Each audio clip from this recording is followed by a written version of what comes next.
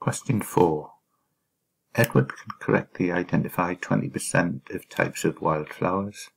He studies some books to see if he can improve how often he can correctly identify types of wildflowers. He collects a random sample of 10 types of wildflower in order to test whether or not he has improved. Part A1. Write suitable hypothesis for this test. We are looking that Edward can correctly identify 20% of types of wildflower. So 20% is the probability of a correct identification. The null hypothesis H 0 is what happens if things remain the same, and that is p equals 0.2. The probability remains at 20%. We're looking to see if we can improve upon this value of p equals 0.2. So this is a one-tail test. The alternative is that he can improve upon it. The alternative hypothesis H1 is that p is greater than 0.2. A part 2. We're looking for a suitable test statistic that he could use. Well, he has taken a random sample of 10 types of wildflower to test whether or not he's improved. So the test statistic is the number of times he correctly identifies a type of wildflower from the 10 types of wildflower. Part B, using a 5% level of significance, find the critical region for this test we need to find the number c that the probability that x is greater than or equal to this value c will be less than 5%. x will be the binomial distribution where n is 10 and p is equal to 0.2.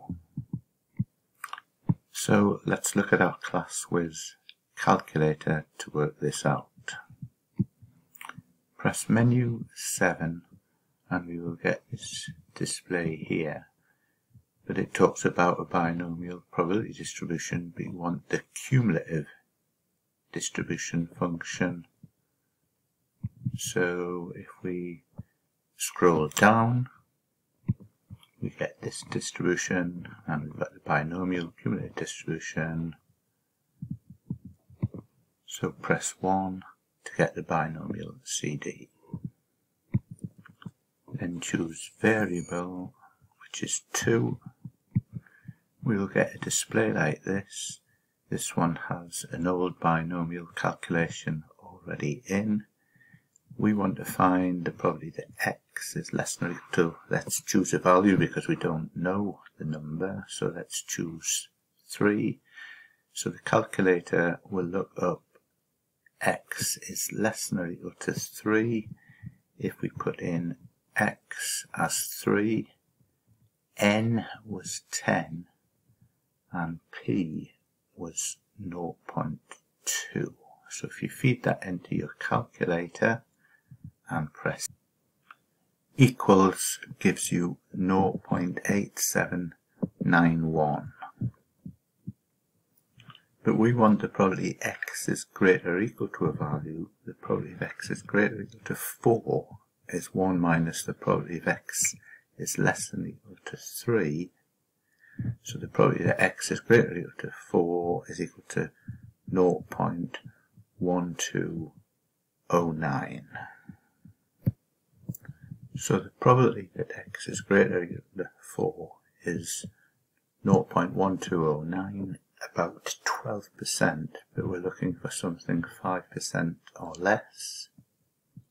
So let's just try a new value here. So if we look at the probability if x is less than or equal to 4, so if we access the binomial CD again on ClassWiz and feed in x is 4 n is 10 again, p is 0.2 again, and press equals, we'll find that the probability that x is less than or equal to 4 is 0.9672.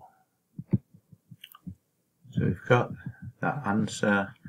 The probability that x is greater or equal to 5 is 1 minus the probability of x is less than or equal to 4, which is 1 minus 0.9672, which is 0.0328, about 3%. So this is less than the 5%, which is what we require. So our critical value is the probability that x is greater or equal to 5. Part C. State the probability of a type 1 error for this test and explain what is meant in this context. A type 1 error is when H 0 is true and a wrong conclusion is made. The wrong conclusion would be rejecting H 0 and accepting H1. To accept H1, we are in the critical region, the probability x is greater or equal to 5. We know this is 0.0328 from part B, so this is our answer. This means it is the probability of concluding Edward has improved his ability to correctly identify wildflowers when in fact he has not. Part D. Edward correctly identifies four of the ten types of wildflowers he collected. What conclusion should Edward reach? Well, the critical region was x was greater or equal to 5 that x is just 4 here, which is not in the critical region. So there is no reason to reject the null hypothesis. So there is insufficient evidence to conclude that Edward has improved his ability to correctly identify wildflowers.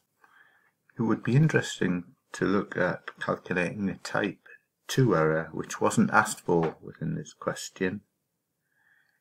A type 2 error is when the null hypothesis is false and a wrong conclusion is made.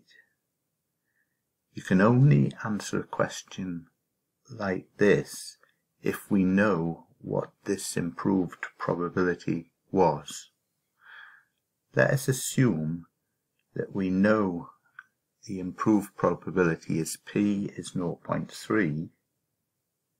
If we make a wrong conclusion, we accept the null hypothesis H0, so our observed value is not in the critical region. The critical region is the probability that x is greater or equal to 5, not in the critical region is x is less than or equal to 4. So for a type 2 error, we need to find the probability that x is less than or equal to 4 when p is equal to 0.3. So if we go to the ClassWiz and get the binomial cumulative distribution, feed in that x is equal to 4 because we want 4 or less, n is 10, and p is our new probability 0.3. So if we feed that data in and press E, we find the probability that x is less than or equal to 4 is 0.8497, and this is a type 2 error. Note this is a very high probability.